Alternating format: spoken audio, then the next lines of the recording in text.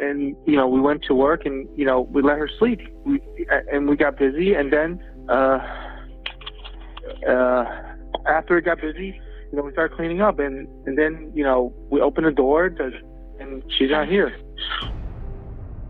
Hai, ketemu lagi setelah sekian lama nggak buat video. Sebenarnya kangen juga sih, tapi karena kesibukan saya kemarin yang lumayan memakan waktu, jadi channel ini diliburkan dulu. Dan yang nanya-nanya di komen kemarin ke mana, sehatkah atau sakitkah? Enggak, enggak kenapa-kenapa. Tapi terima kasih buat kalian semua dan buat perhatian kalian. Dan hari ini kita akan membahas sebuah kasus yang pernah terjadi di Amerika Serikat beberapa tahun lalu. Jadi kasus ini menceritakan seorang anak yang masih balita ditemukan di restoran orang tuanya sendiri Bagaimana kisah selengkapnya dan apa yang sebenarnya terjadi pada dia? Jangan ke mana-mana karena kita akan membahas kasus ini secara tuntas dan juga lengkap.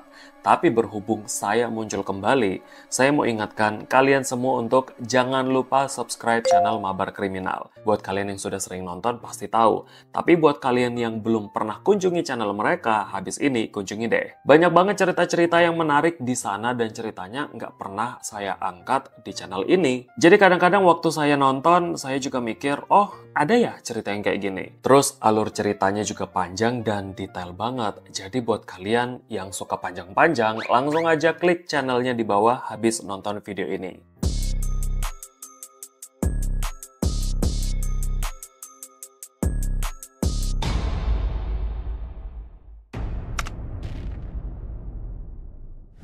Di hari Senin, yang tepatnya hari pertama orang-orang beraktivitas minggu itu, semuanya memang berjalan apa adanya sepanjang hari. Tibalah pada jam 9 malam, seorang pria menelpon operator 911 untuk melaporkan kalau putrinya menghilang.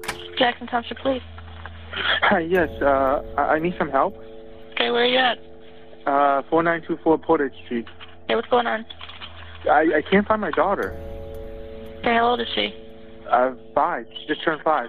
Jadi dia bilang kalau habis makan malam putri pertamanya yang bernama Jojo tidak menemukan adiknya di kamar. Padahal Jojo yakin kalau adiknya masih tidur di sampingnya waktu Jojo bangun dari tidur siang. Polisi pun datang ke sana dan langsung melakukan penyelidikan. Sang ayah yang bernama Liang Chow bilang ke polisi kalau dia takut putrinya keluar dari rumah lewat pintu belakang. Apalagi saat itu musim dingin, jadi dia khawatir akan terjadi apa-apa atau hal yang menakutkan dengan putrinya di luar sana. Polisi pun mengerahkan puluhan petugas untuk menyisir lokasi di sekitar restoran mereka dan juga meminta keterangan warga sekitar. Tapi anehnya, polisi tidak menemukan tanda-tanda keberadaan Ashley dan juga tidak ada satupun warga yang pernah melihat anak ini sepanjang hari. Sang ibu yang bernama Ming Ming Chan meyakinkan polisi kalau Ashley memang tidur siang dengan kakaknya dan terakhir pada jam 5 sore, Ashley masih ada di tempat tidur. Ming Ming juga menyuruh polisi bertanya langsung pada Jojo, apakah benar Ashley tidur siang dengan Jojo Jojo dan apa yang dikatakan Jojo? Benar pak, adik saya memang tidur di samping saya waktu saya sudah bangun. Agaknya keterangan mereka memang meyakinkan. Tapi polisi jadi curiga pada orang tua korban sebab Ming Ming dan Liang terus mengatakan keterangan itu berulang-ulang. Jadi polisi mikir, wah ada apa nih? Apa yang sebenarnya disembunyikan oleh mereka? Akhirnya polisi memutuskan untuk melakukan penyisiran bukan di luar restoran lagi, tapi di dalam restoran. Waktu polisi menggeledah seluruh area restoran, mereka menemukan jenazah Ashley yang ditempatkan dalam wadah garam tersembunyi sebelah lemari es di gudang bagian atas restoran mereka.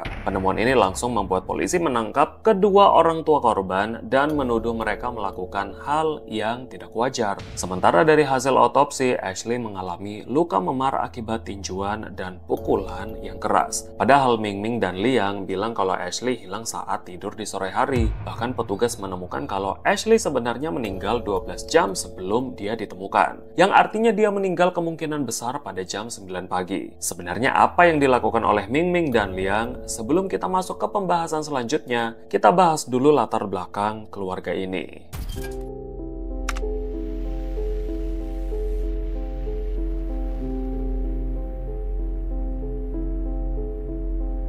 Jadi, Ming Ming Chen dulunya adalah mantan seorang guru di negara asalnya Tiongkok. Ternyata dia adalah anggota aktif sekte bernama Falun Gong atau Falun Dafa yang didirikan oleh Li Hongxi pada tahun 1992. Sebenarnya, sekte ini mengedepankan pemurnian tubuh dan penyembuhan sakit penyakit lewat meditasi. Tapi sekte ini resmi dilarang di Tiongkok sejak tahun 1999 karena dianggap menyesatkan dan menjadi oposisi pemerintah. Sejak saat itulah praktik ini dijalankan secara sembunyi-sembunyi dan banyak para pengikutnya pergi ke luar negeri karena didiskriminasi. Ming Ming yang juga merasa didiskriminasi akhirnya berangkat ke Amerika Serikat secara ilegal di tahun 2009 sekaligus ingin mencari kehidupan yang lebih layak. Setelah dia berhasil masuk ke Amerika, dia sempat bekerja di Chinese restaurant dan bertemu dengan adik pemilik restoran yang bernama Liang Chow, yang sudah resmi jadi warga negara Amerika. Tak lama kemudian, mereka pun berpacaran dan menikah. Setelah itu mereka pindah ke kota North Canton, negara bagian Ohio, dan membuka restoran bernama Ang's Asian Cuisine. Di akhir tahun 2010,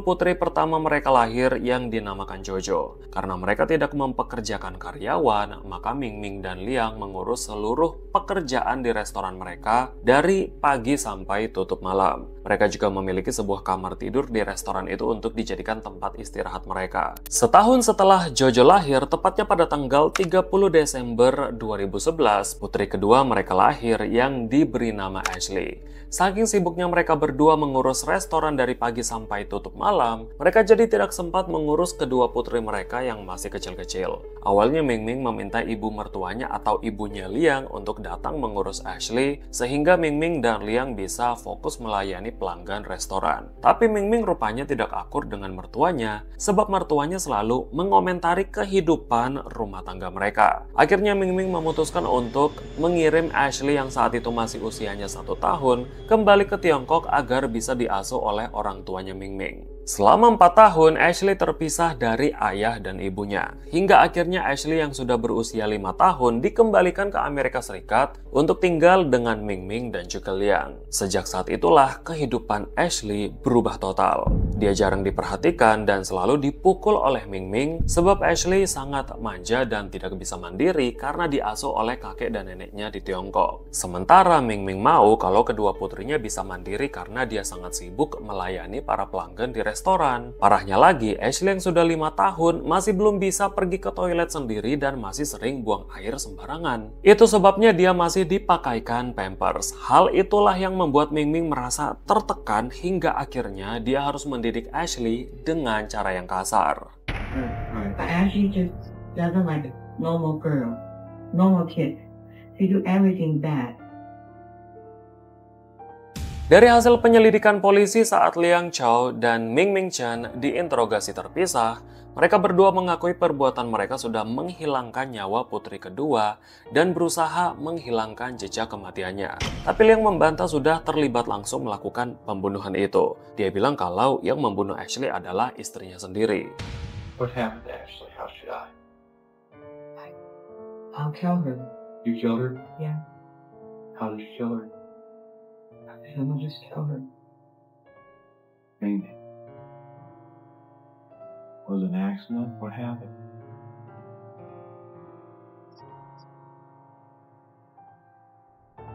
I killed her. Jadi menurut pengakuan mereka berdua, pagi itu masih berjalan seperti biasa. Ming Ming sibuk dengan kegiatannya mengurus Jojo yang mau pergi sekolah, setelah itu mempersiapkan bahan makanan untuk restorannya. Sementara Liang bertugas untuk mengantar Jojo ke sekolah. Namun saat mereka pergi, Ashley yang baru bangun rupanya buang air kecil dan air besar di celana, yang menyebabkan kotorannya tercecer di mana-mana. Padahal Ming Ming sudah sering kali mengingatkan Ashley untuk pergi ke toilet sendiri. I only take care of everything from the restaurant. I only have two hands. I'm not four hands girl. I'm two hands. I don't want to do that to Ashley, but you can control yourself sometimes.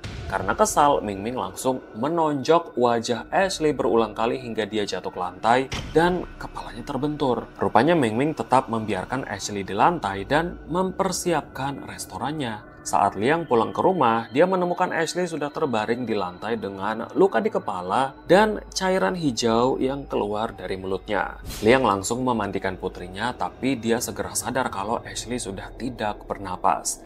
Sebenarnya Liang sempat melakukan CPR ke anaknya, tapi hal itu tak juga membantu. Akhirnya mereka berdua pun sepakat untuk menyembunyikan jenazah Ashley dan kembali melayani pelanggan restoran mereka seperti tidak terjadi apa-apa. Saat Jojo sudah pulang dari sekolah, Jojo pun langsung tidur siang. Dan di situlah mereka berdua membaringkan jenazah Ashley di sebelah Jojo agar bisa buat alibi kalau memang Ashley tidur di sebelahnya dan Jojo bisa kasih kesaksian seperti itu ke polisi. Itu sebabnya saat penggeledahan, Ming Ming dan Liang berusaha meyakinkan polisi kalau memang Ashley tidur di sebelah Jojo sebelum hilang. Saat makan malam pun tiba, Jojo pergi ke dapur dan mereka kembali menyembunyikan jenazah Ashley di gudang bagian atas restoran. Hal itu mereka lakukan karena mereka takut dipenjara dan kehilangan restoran mereka. Bahkan mereka juga sudah menempelkan selembaran orang hilang di depan restoran mereka untuk membuat alibi. Seolah-olah Ashley memang menghilang. Barulah jam 9 malam itu, Liang Chow menelpon operator 911 untuk melaporkan kalau putrinya menghilang.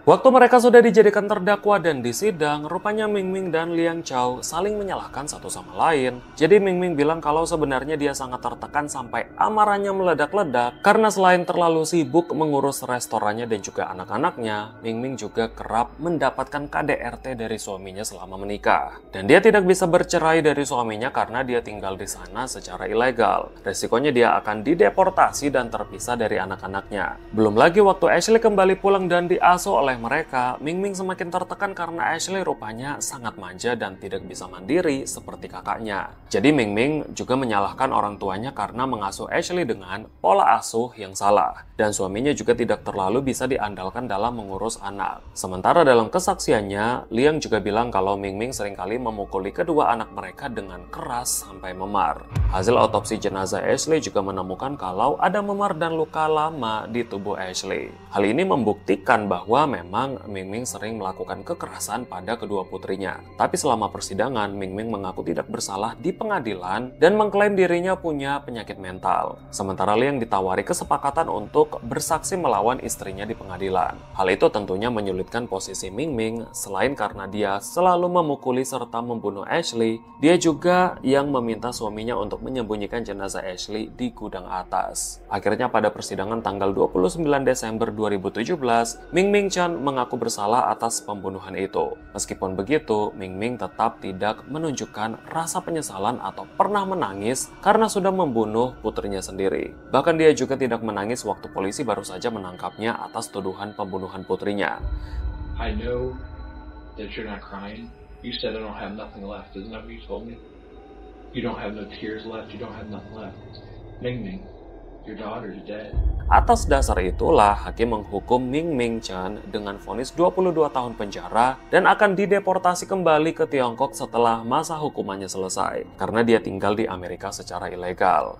Sementara Liang Chao dihukum 12 tahun penjara dan hukuman itu lebih ringan karena dia sudah mau bekerja sama melawan istrinya di pengadilan. Sementara Jojo anak pertama mereka dititipkan ke panti asuhan sebab mereka berdua tidak setuju kalau Jojo diasuh oleh anggota keluarga mereka. Kasus ini menyebabkan ke kemarahan publik yang luar biasa guys. Setelah penemuan jenazah itu, banyak warga kota yang berdatangan dan menaruh bunga dan boneka untuk menunjukkan rasa kepedulian mereka tentang kasus ini. Bagaimana menurut kalian? Siapa yang menurut kalian lebih bersalah dalam kasus ini?